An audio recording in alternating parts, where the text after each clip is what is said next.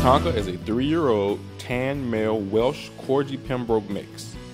Despite its small size, Tonka is still an active sporting dog that needs daily exercise.